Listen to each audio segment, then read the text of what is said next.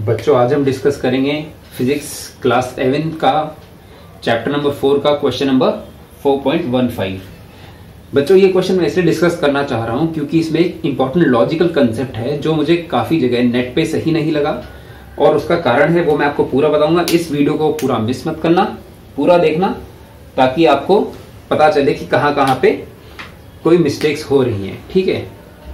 एक आध जगह नेट पे ठीक सॉल्यूशन भी है, लेकिन क्योंकि ज़्यादातर जो सॉल्यूशंस हैं, वो सही नहीं हैं। अब मैं बताऊँगा क्यों सही नहीं है। उससे आपको पता चलेगा कि ये गैप कैसे फिलअप हो रहा है। मतलब ये जो कमी आ रही है, उसको मैं दूर करने की कोशिश कर रहा हूँ। तो चलो सबसे पहले क्वेश्चन देखते हैं, क्या है? क्वेश्चन देखने में सिंपल है। क्या कहता है? The ceiling of a long hall is 25 metres high एक, ये एक्स एन ये वाई एक्सिस है, ये एक्स एक्सिस है मीन्स ये हाइट और ये लंबाई के लिए ड्रॉ कर रहे हैं। हाइट की हॉल कितनी है? चिल्ड्रन सबसे इंपॉर्टेंट डायग्राम सबसे ज़रूरी है, ताकि आप खुद समझ सको, तभी तो आप उसको सॉल्व भी कर पाओगे। ठीक है? सिर्फ़ सॉल्यूशन रटने से आपको नॉलेज नहीं आएगी। जब आप क्वेश्चन को ढंग से एनालाइज करोगे, तभी आ पाएगा। सी क्या बता रहे the ceiling of a long hall is 25 metre high 25 metre high fine ठीक है। What is the maximum horizontal distance children question पढ़ते हुए इंपॉर्टेंट पॉइंट्स अंडरलाइन कर लेने चाहिए हमेशा। या इंपॉर्टेंट पॉइंट्स और इंपॉर्टेंट डेटा जो हमें मिल रहा है। इसमें क्या है? The ceiling of a long hall is 25 metre high 25 metre high what is the maximum horizontal distance क्या पूछ रहा है हमसे? मैक्सिमम हॉरिजॉन्टल डिस्टेंस ठीक है?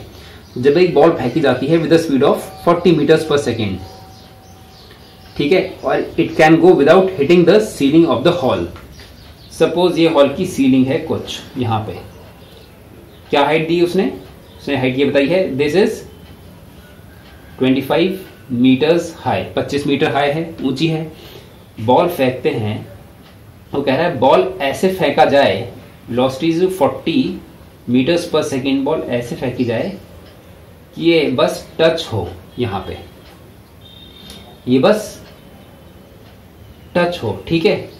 अनचिल्ड्रन सी ये जो मोशन है, ये है प्रोजेक्टाइल मोशन अगर ये एंगल सपोज़ थीटा है तो आप लोगों को पता है, पूछ क्या रहा है? सिंपली ये वाली हाइट पूछ रहा है। मतलब रेंज पूछ रहा है, अगर हाइट हाइट दी गई है, अब आपको पता है हाइट का फॉर्मूला एच इज़ टू क्या होता है? वी स्क्वायर साइन थीटा ये भी स्क्वायर होता है वी स्क्वायर साइन थीटा या वी साइन थीटा का whole square upon two G ठीक है?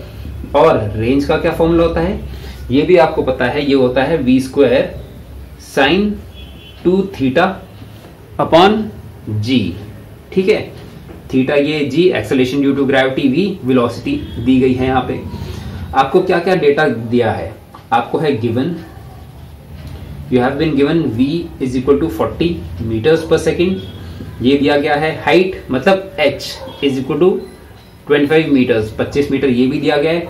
थीटा नहीं पता जी हमें पता है। जी की वैल्यू क्या होती है? 9.8 मीटर्स पर सेकेंड स्क्वायर जैसा क्वेश्चन में अगर नहीं दिया है, हम ये मानते हैं, अगर दिया हुआ है तो जो वैल्यू है सपोज़ 10 या कुछ भी, उसको मान लेते हैं। चलिए, दूसरी एक और आदत। क्वेश्चंस में, मैं बीच में यूजुअली वैल्यू सब्सिट्यूट नहीं करता। क्यों नहीं करता? क्योंकि कई बार क्या होता है कुछ कुछ वैल्यूज़ कैंसिल हो जाती हैं। या तो सब्सिट्यूट करनी है तो आराम से सब्सिट्यूट कर लेंगे लास्ट में। तो पहले वैसे करके देखते हैं, जैसा नॉर्मल सॉल्यूशंस सब जगह दिया गया है। क्या निकालते हैं इसमें? एच दिया हुआ है। तो हम सब्सिट्यूट करते हैं 25 is equal to V square मतलब 40 square into sine square theta upon two G ठीक है? Two G two into nine point eight इसको सॉल्व करते हैं। इसको यहाँ ले गए two into twenty five into nine point eight multiply करा। क्या आ गया? Fifty into nine point eight upon forty का square this is equal to sine square theta ठीक है? इससे इसकी वैल्यू सॉल्व करते हैं तो निकल के आती है sine we get sine theta children sine theta is equal to zero point five three three ठीक है? सॉल्व करा रूट कर दिया। और इससे क्या आता है? थीटा की वैल्यू निकाल दिया है भाई साइन इनवर्स इतना sine inverse zero point five three three which is equal to thirty three point six degree ठीक है? अब चिल्ड्रन जो देखो, इसमें जो कैच है सीबीएसई बोर्ड में आपको ना कैलकुलेटर दिया हुआ रहता है, ना ही ये ट्रिग्नोमेट्रिक टेबल्स वगैरह दिए रहते हैं कि आपको ये वैल्यू डिटरमाइन हो जाए, ये वैल्यू पता चल जाए, ऐसा कैसे होगा। भाई, हम सबके दिमाग में कंप्यूटर्स तो फिट है नहीं कि हमें डिग्री पता चल जाए। ठीक है? तो मेरे हिसाब से तो भाई ये टोटली गलत है, क्योंकि ऐसे तो हम डिग्री निकाल ही नहीं सकते। हाँ अगर ये क्वेश्चन आईसीएससी बोर्ड में आ जाए तो भाई कैलकुलेटर्स होते हैं वहाँ से आराम से कैलकुलेट करा जा सकता है, तब ये ठीक है। तो इस सॉल्यूशन को तो मैं डिसरिगार्ड करता हूँ, ठीक है? कि भाई ये सॉल्यूशन ठीक नहीं है। यहाँ से थीटा निकला थीटा की वैल्यू यहाँ पे सब्सटीट्यूट करो आर की वैल्यू आ जाएगी easily forty square into sine two theta two theta क्या हो गया? Six six point six into two twelve one two it will be sixty seven point two sixty seven point two substitute करके यहाँ पे value substitute करो R आ जाएगा। But चिलेन अगर आप एग्ज़ाम में कर रहे हो ये क्वेश्चन तो ये कैसे आएगा? ये तो आया नहीं सकता तो हमें कुछ और सोचना पड़ेगा।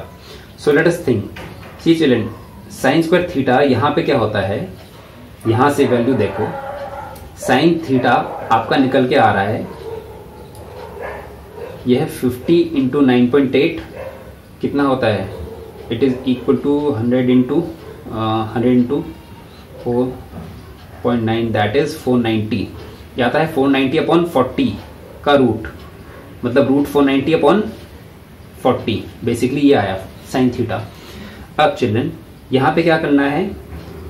आपको निकालना है R R is equal to V square sine two theta sine two theta में आप फॉर्मूला सब्सिट्यूट करो साइन टू थीटा का. वो क्या होता है? साइन टू थीटा का फॉर्मूला होता है? साइन टू थीटा का फॉर्मूला होता है? Two sine theta cos theta trigonometry में आपने यूज़ करा है।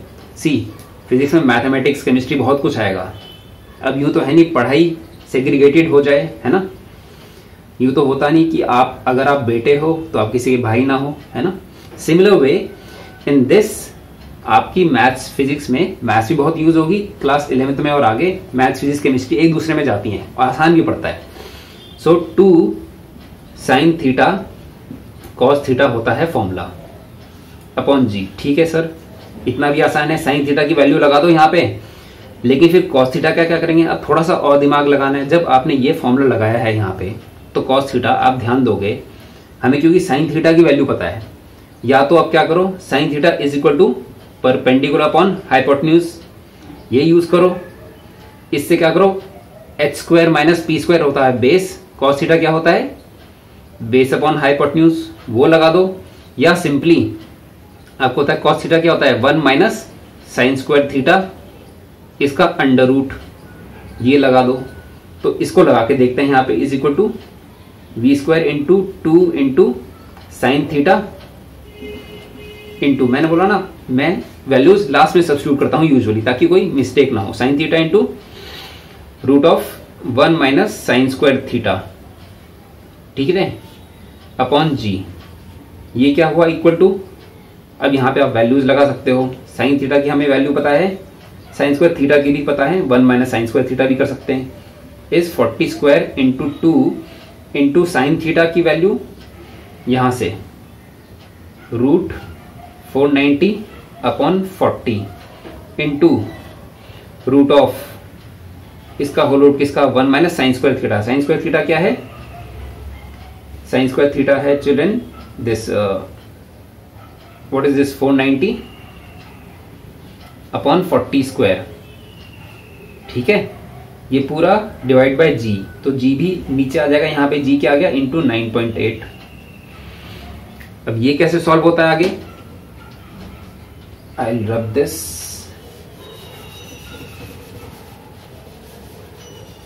ठीक है? तो देखो यहाँ पे, अब यहाँ पे देखो इसको इसको आगे लिखते हैं।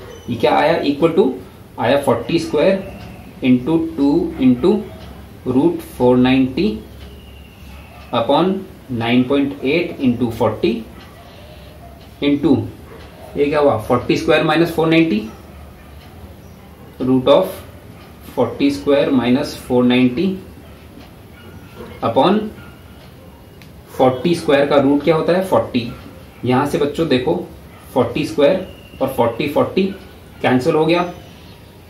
टू से ये हो गया, हो जाता है फोर पॉइंट नाइन अब इसको आप सॉल्व करोगे तो आप देखोगे आपका आंसर आ जाएगा इससे सेम सेम मतलब क्या?